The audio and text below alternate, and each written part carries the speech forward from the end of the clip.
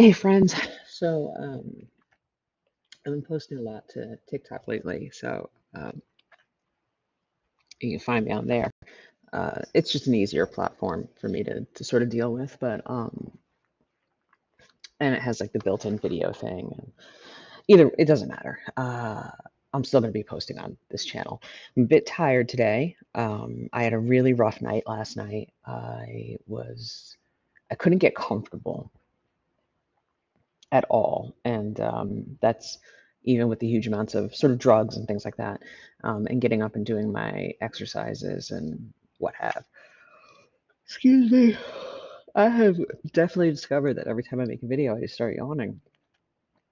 Uh,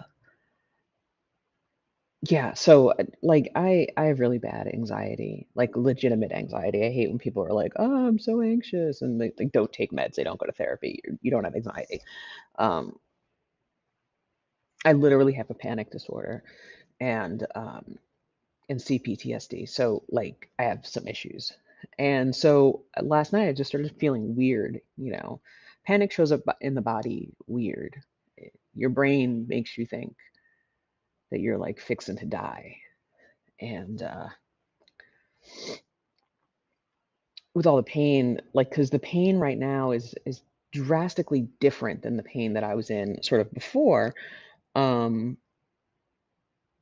plus there's like this weird feeling in my body because I have sort of all these new parts and um the way I can describe that is like if you've ever not that you would ever do this, but if you've ever seen like a ball bearing that's been greased, right?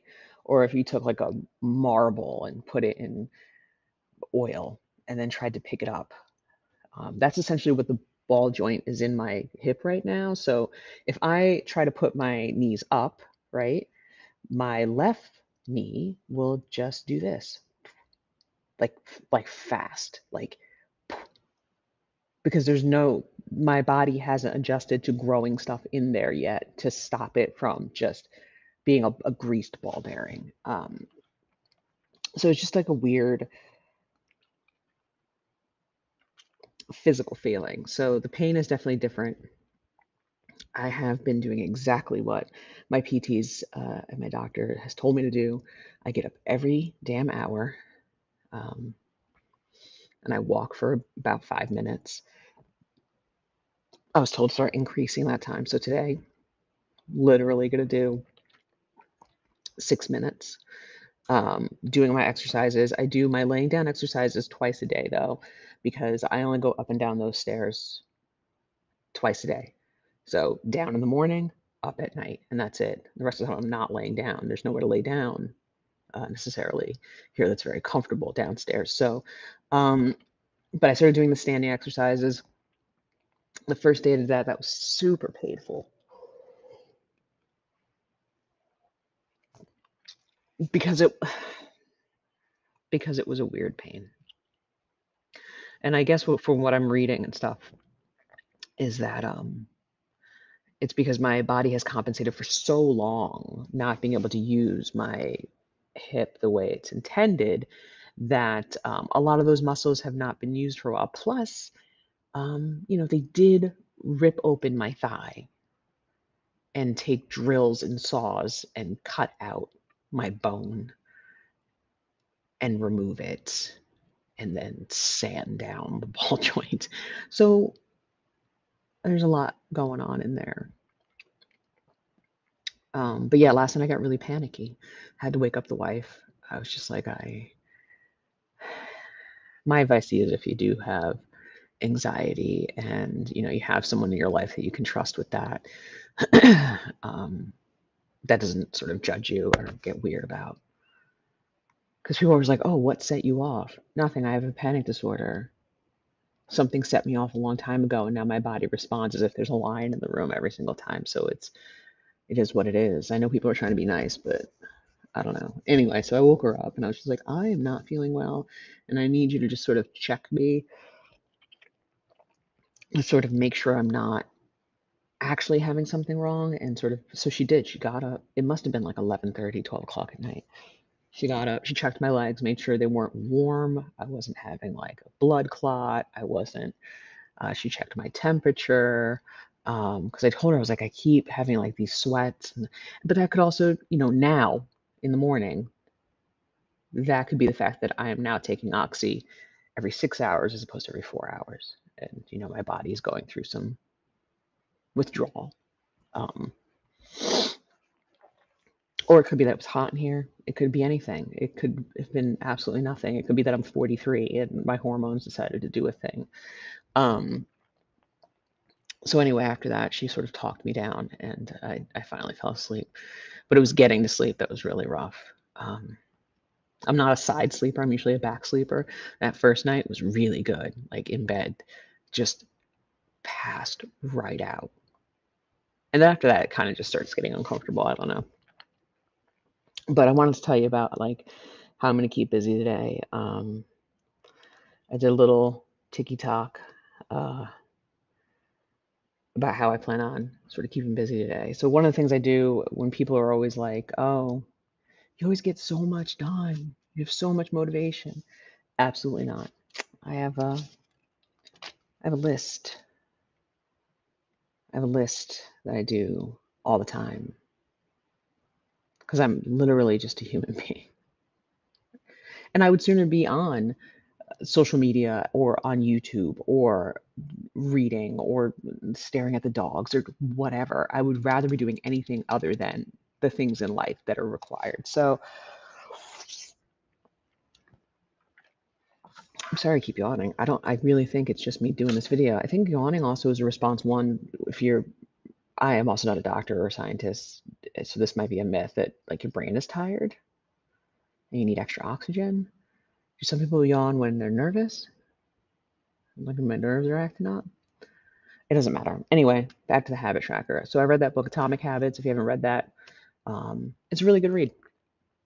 It's a good read if you want to sort of develop strong habits. If you want to develop something to sort of change the trajectory, it's not going to. It, it may change your life. I don't know. Like, but I don't. I don't think anything is that drastic. I don't I don't want it to sound like it's a huge plug, but I got the idea from that book. So Atomic Habits. He does have habit trackers on his uh, website. His name is James Clear. Um, I didn't really like them, so I went on Canva, made my own. You can also just put in habit tracker. Um, you can put in like monthly, weekly. You'll get a PDF of something. Um, but I went on Canva and made mine. And I purposely sort of shrunk it. This is specifically my habit tracker for um, 320 to 420. So basically, I gave myself five days to sort of chill out after surgery to get my pain meds sort of situated.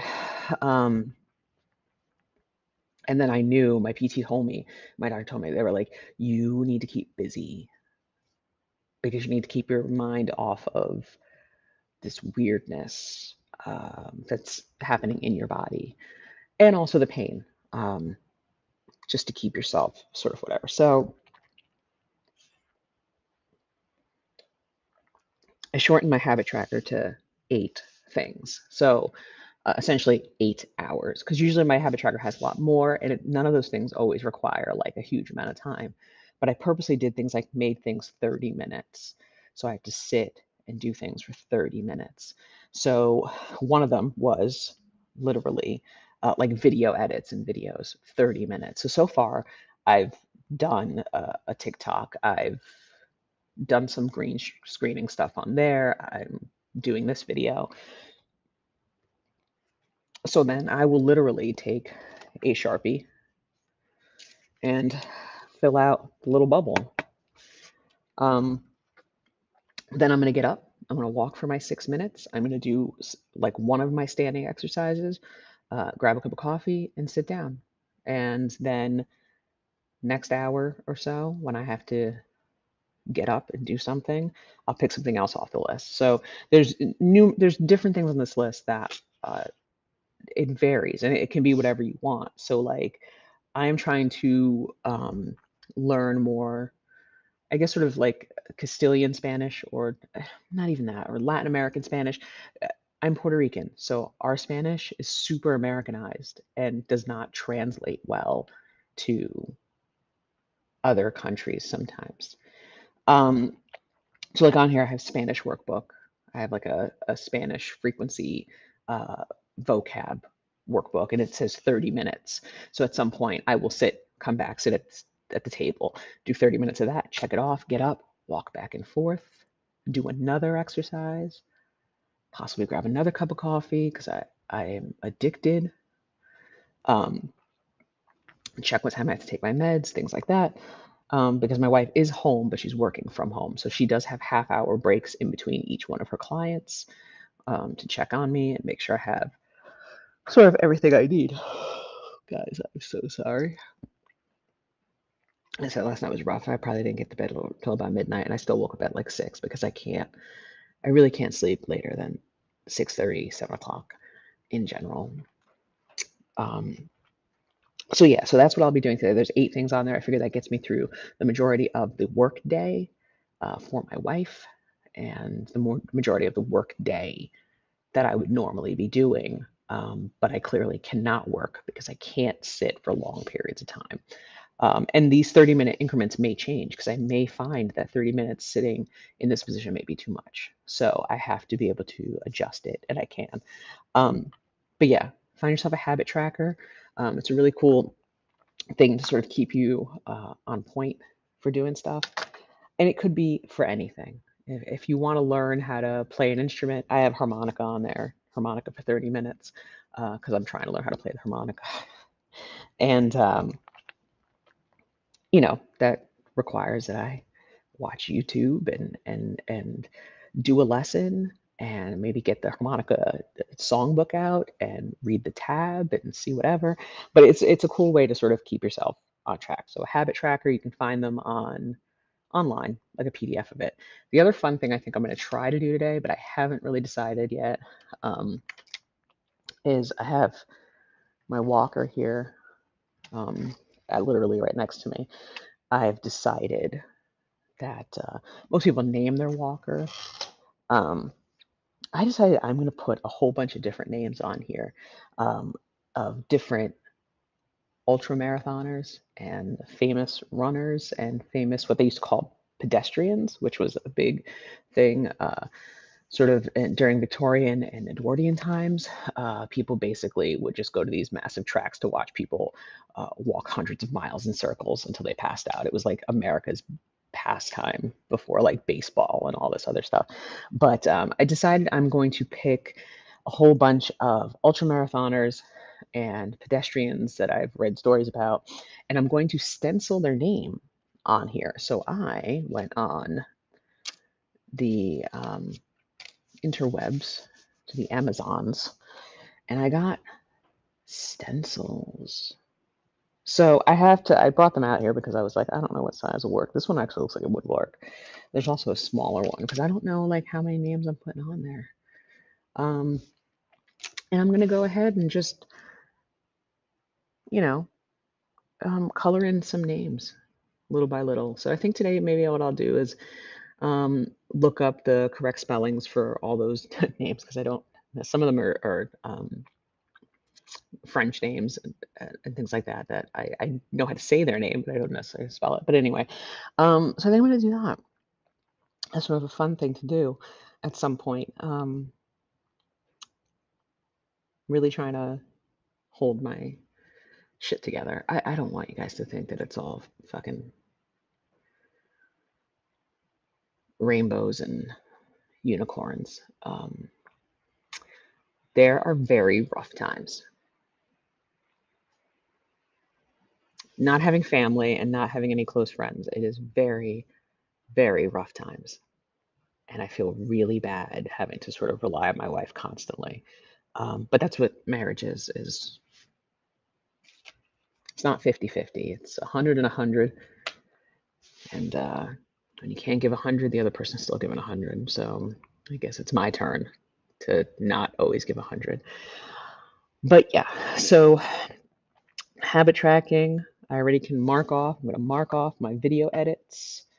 Um, did that today for 30 minutes. That's done.